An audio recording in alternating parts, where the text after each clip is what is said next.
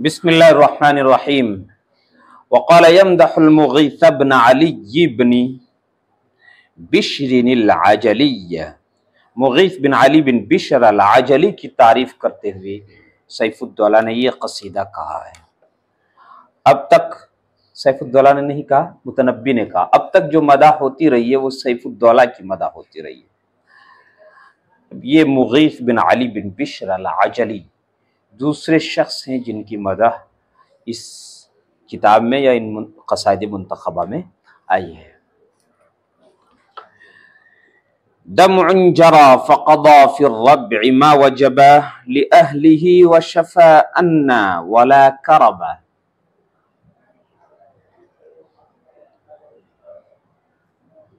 اس میں بھی جیسے تمام مدحیہ قصائد کے شروع میں تشبیب ہوتی ہے یعنی غزل کے اشعار ہوتے ہیں۔ عشق اور محبت، فراق اور جدائی اور ملاقات اور وصل وغیرہ وغیرہ۔ ان جذبات کا اظہار اور اس، ان مضامین کا بیان ہوتا ہے قصائد کے شروع میں۔ اور جسے تشبیب کہتے ہیں، وہ روایتی طور سے اس قصیدے کے شروع میں بھی ہے۔ یہ بھی بحر بسیط ہے۔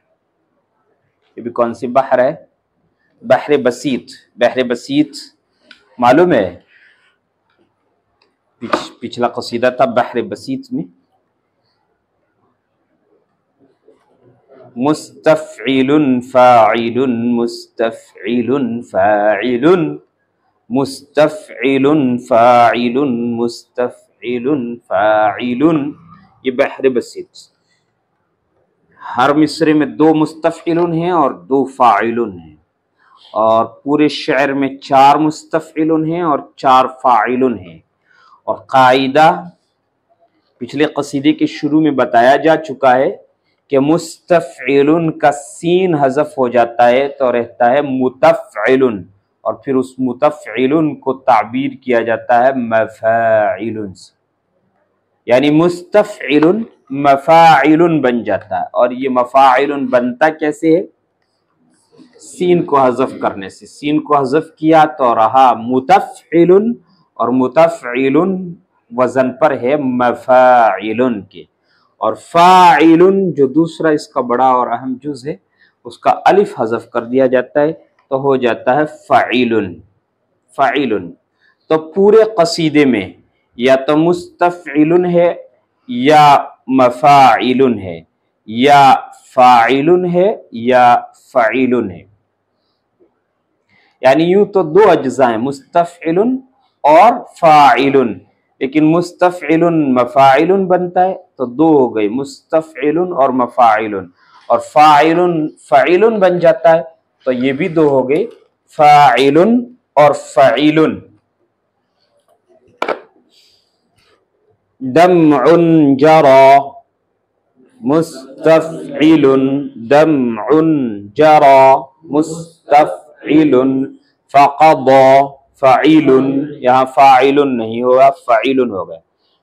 فقضى فعيل في الضبع ما في الضبع ما مستفعل في الربع ما مستفعل وجبا فعل وجب فعل لأهله.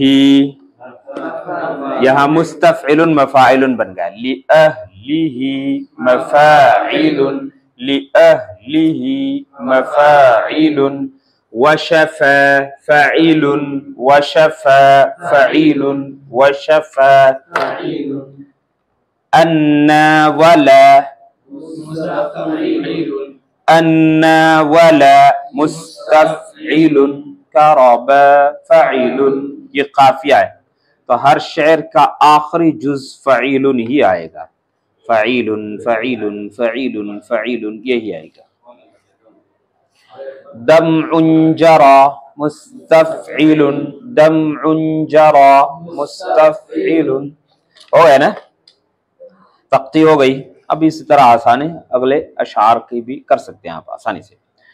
دمع آنسوں کو کہتے ہیں، جرا یجری بہنا فقضا فی الربع، ربع پیچھے آ چکا۔ فدیناک من ربع وان ستنا کربا۔ ربع منزل محبوب جمع ربوع۔ ما وجبہ یہ قضا کا مفعول بھی یہ ہے۔ ما وجبہ قضا ما وجبہ قضا فلان ما وجب علی فلاں نے وہ ادا کیا جو اس پر واجب تھا یعنی فلاں نے اپنا حق واجب ادا کیا۔ قضا فلان ما وجب ما وجب۔ الف اشباع کے لیے بڑھایا گیا ہے، ما وجب۔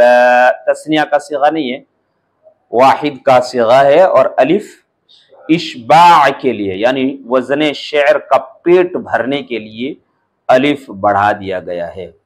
لِأَهْلِهِ وَشَفَا شفا شفان شفا دینا۔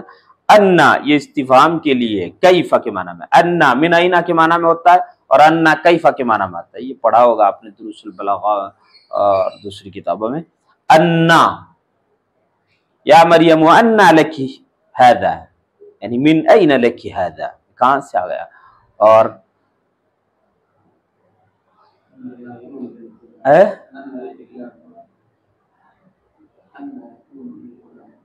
انا یکون لی غلام کیف یکون لی غلام کیفا کے معنی میں یعنی انا من اینا کے معنی میں آتا اور انا کیفا کے معنی میں آتا ان یہاں کیفا کے معنی میں ولا کربا کربا یہ فعل مقارب ہے کربا فعل مقارب ہے اسا اور کربا اور یہاں بھی الف اشباع کے لیے بڑھا دیا گیا ہے دمع جرا فقضا فی الربع حق واجب ادا کر دیا۔ آنسوں نے بہ کر، چل کر، جاری ہو کر، منزل محبوب پر حق واجب ادا کر دیا منزل محبوب کی منزل میں پہنچے ہیں۔ تو وہاں کا حق یہ ہے کہ رویا جائے۔ محبوب کی یاد میں۔ جب محبوب کے گھر پہنچے ہیں اور وہاں محبوب نہیں ہے۔ تو کیا کیا جائے گا؟ رویا جائے گا۔ ما وجب لأہلہ جو صاحب منزل کا حق واجب تھا۔ ما وجب لأہلہ جو صاحب منزل کا واجب حق تھا، وہ ادا کر دیا۔ وہ شفا اور شفا دی۔ روتے ہیں تو شفا ملتی ہے۔ تڑپ دل تڑپنے سے ذرا تسکین ہوتی ہے نا؟ روئیں گے ہم ہزار بار، کوئی ہمیں رولائے کیوں؟ رونے سے شفا ملتی ہے۔ کون کہتے ہیں؟ متنبی کہتا ہے یہاں تو۔ وشفا انا، پھر پلٹ کر کے کہتا، نہیں نہیں، کہاں شفا دی؟ اور زیادہ درد بڑھا دیا۔ ہے نا؟ درد کو اور زیادہ بڑھا دیا اور یہ درد ایسا درد ہوتا ہے کہ اس میں لذت ہوتی ہے۔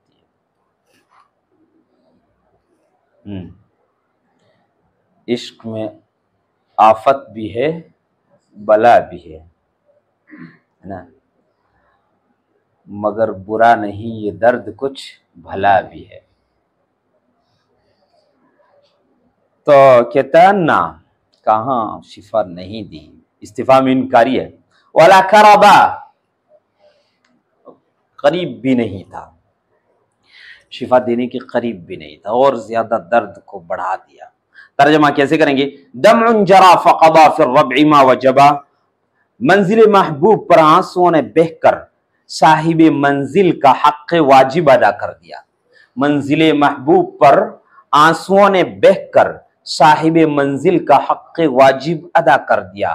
اور ہمیں درد سے کچھ شفا دی و شفا، اور شفا دی۔ انا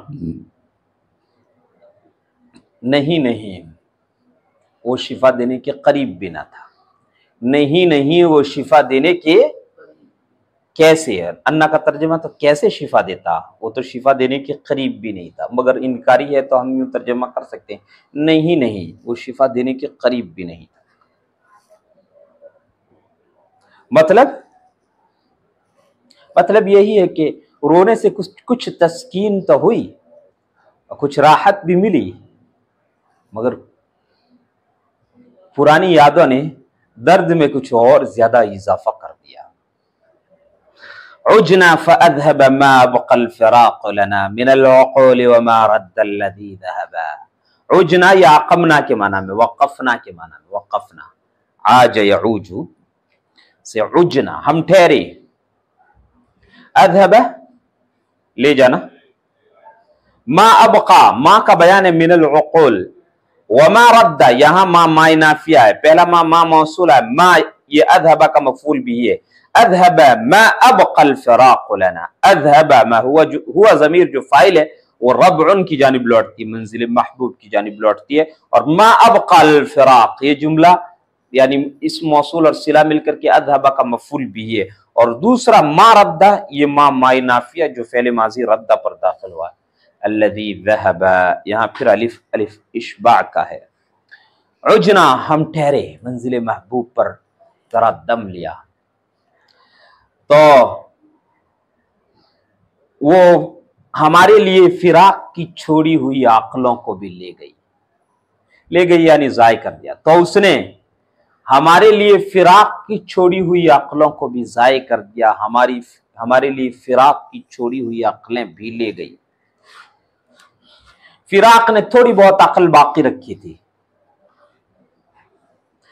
منزل محبوب پر پہنچے تو منزل وہ حق بھی لے گئی۔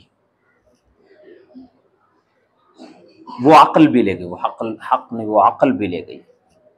سمجھے بات کو آپ۔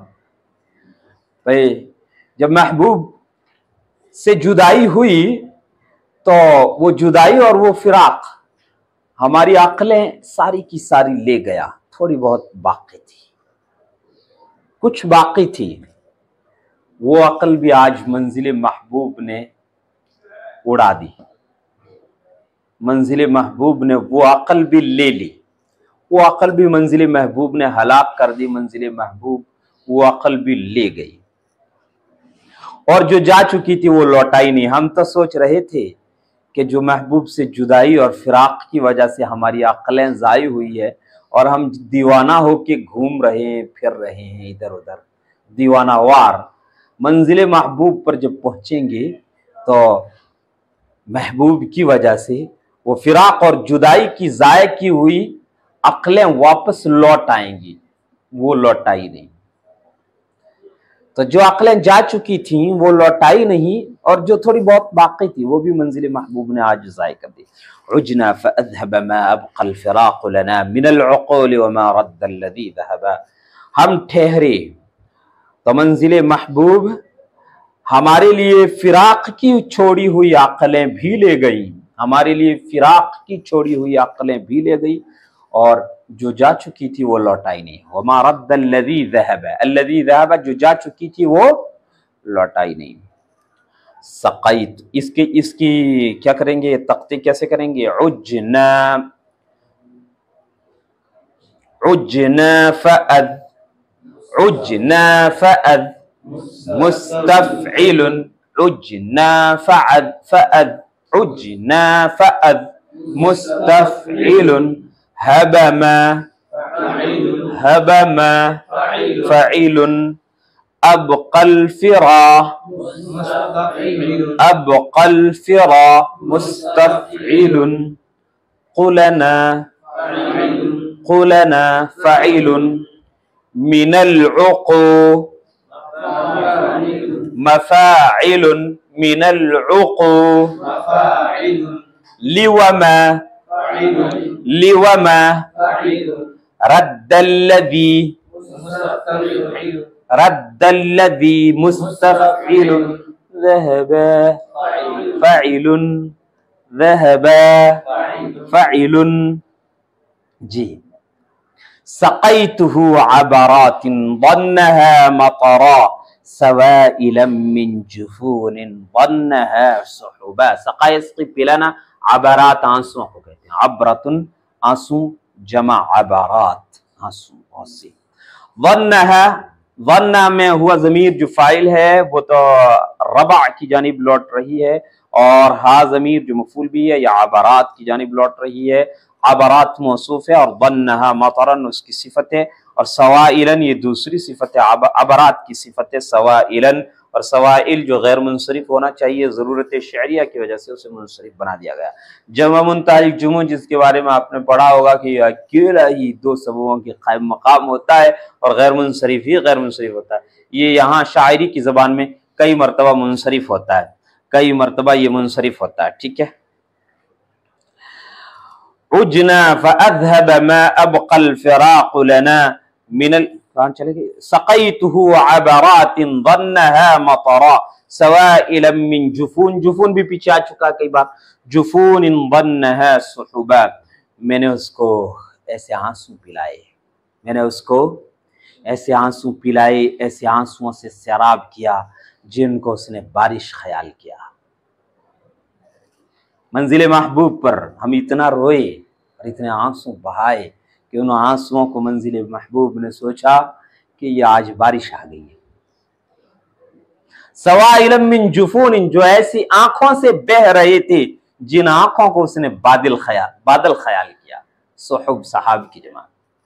جو ایسی آنسوں آنکھوں سے بہ رہے تھے، جن کو اس نے بادل خیال کیا۔ ہم نے منزل محبوب پر اتنے آنسو بہائے یا منزل محبوب کو اتنے آنسو پلائے کہ ان آنسوؤں کو اس نے بارش سمجھا اور ایسی آنکھوں سے بہنے والے تھے جن آنکھوں کو اس نے بادل خیال کیا۔